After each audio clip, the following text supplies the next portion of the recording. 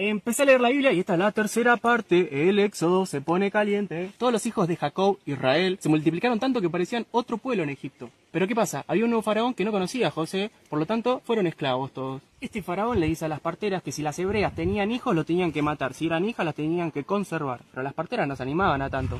Por eso un día nació un nene que lo cuidaron durante tres meses y dijeron, bueno, ya fue, no lo podemos tener más, lo metieron en un arca y lo mandaron para el río.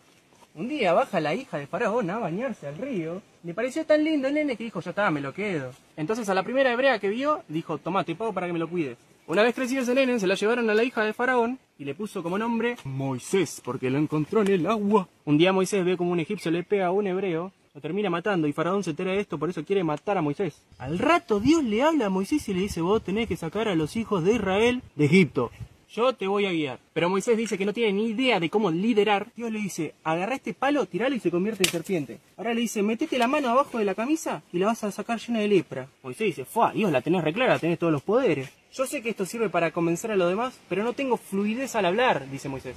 A lo que Dios dice, ¿quién asignó boca al hombre o al mudo o al sordo? ¿Quién no? Sino yo, Dios. Pero Moisés le seguía diciendo que no servía hasta que Dios se calentó y le dijo, mira, agarra a tu hermano Aaron que él va a hablar por vos y yo y vos vas a hablar por mí. Va a ser una cadena. Entonces fueron Moisés y Aaron a hablar con el faraón para decirle, queremos sacar a los de Israel de Egipto. A lo que el faraón le dijo, tómatela de acá, ¿quién sos vos? Se recalentó el faraón y dijo a sus siervos, vayan con los hebreos este y denle más trabajo, mátenlo de hambre y que sean más esclavos de lo que están. Así que Dios habla con Moisés y le dice, tirale la varita al faraón que se convierta en serpiente. Va, lo hace, pero el faraón trae un mago y hace lo mismo, así que le chupa un huevo. Así que Dios le dice a Moisés, habla con faraón de vuelta y mostrar el, el truquito ese de convertir el agua en sangre. Va, lo hace, pero el faraón le chupó un huevo, llamó un mago y hizo lo mismo. Ahora Dios le dice a Moisés, bueno, anda y amenazalo con una plaga de ranas. Va, va, le llena todo de ranas y Faraón dice, opa, ahora sí me cabió. Lo llama a Moisés y le dice, che, loco, sacame las ranas. Moisés, obvio, pero si me dejas ir con el pueblo de Israel, se las termina sacando y Faraón dice, jaja, te recayó, no te doy nada. Ahora Dios le dice, bueno, vamos con la plaga de Jejenes, va, le llena de plaga y los magos le dicen a Faraón, che, me parece que Moisés está con Dios posta, hizo alto bondi recién. A Faraón le chupó un huevo. Egipto se llenó de tábanos y Faraón le dijo, por favor, Moisés, termina con esta plaga. Moisés le dice, no me vas a cagar, ¿no? Termino con la plaga y efectivamente lo cagó. Dios le dice a Moisés, este faraón se hace el piola y va a matar a todo el ganado y el ganado de Israel va a quedar intacto. Efectivamente lo hace y a faraón, obvio, le chupó un huevo. Después Dios le dijo a Moisés, anda agarrado Gin y soplale a los egipcios que se van a llenar de ampollas. Y de paso decir al faraón que se hace tanto el piola que si quiero matarlo lo mato, pero no lo mato para que se dé cuenta de mi poder, dice Dios.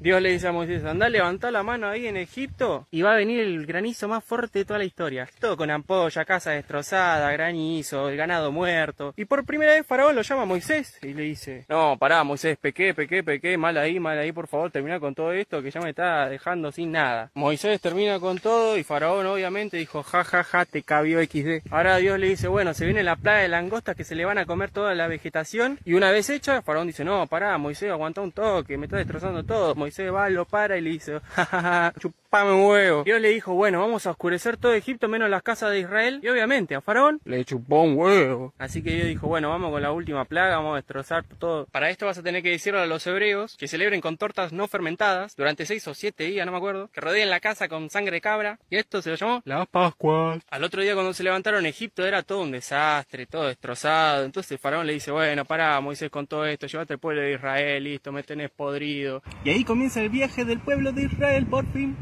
el pueblo de Israel para en un río y en ese momento Faraón se da cuenta de que se mandó una cagada y dice, ¿cómo lo vamos a dejar ir? Vamos a capturarlos si son nuestros esclavos. Entonces a lo lejos el pueblo de Israel ve un montón de caballos con carruajes y le dicen a Moisés, nos trajiste a morir acá, ¿no? Pedazo de... Moisés ante esto le pregunta a Dios y Dios le dice, vas a separar el mar en dos. Va, levanta el brazo, lo separa, pasan y cuando está por pasar los egipcios, lo cae, se los traga. Continúan su camino y el pueblo le dice a Moisés, nos estamos cagando de hambre. Entonces Moisés le dice a Dios y hace llover pan. A los otros días, el pueblo le dice, nos estamos muriendo de sed. Así que Moisés le pregunta a Dios y Dios le dice, agarra la varita, pegale a la piedra y sale agua. Y empiezan a tomar agua. Otro problema más, vinieron los amalequitas, querían acabar con todo. Entonces Moisés como líder de batalla tenía que levantar el brazo y así ganaban ventaja. Cuando lo bajaba, perdían ventaja. Así que tuvo que mantener los brazos con ayuda de sus hermanos durante toda la batalla y así pudieron ganar y pudieron continuar. Esa batalla quedó para el olvido. Luego Dios le dice a Moisés, decirle al pueblo que yo como Dios le di todo.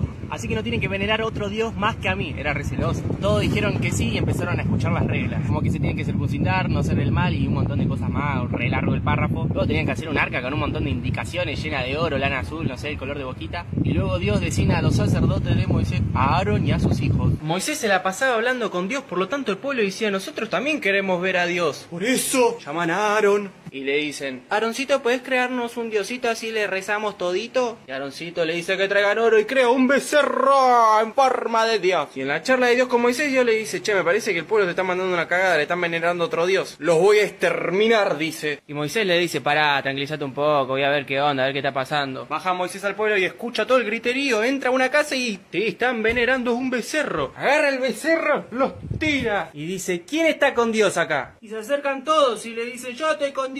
A lo que Moisés le dice, bueno, cada uno de ustedes va a ir con su prójimo, su hijo, su conocido más íntimo y lo va a matar. Luego de eso los voy a bendecir, para que sepan que Dios está por encima de todos. Después Moisés hablaba con Dios y por solo verle su espalda se le iluminó la cara. Entonces cuando bajó el pueblo tenía la cara toda iluminada, por lo tanto se la tapaba para hablar con los pueblerinos. Moisés hizo el testimonio de Dios en el que decía, seis días se trabajarán y en el séptimo llamado sábado no, y el que trabaje en el día séptimo morirá. Y también pidió un listado eterno de muchas cosas y materiales y la gente accedió. Accedió tanto que sobraron los materiales. Y contentos todos comenzaron con la ofrenda a Dios. Y acá termina el éxodo y después viene el Levítico, ¿querés?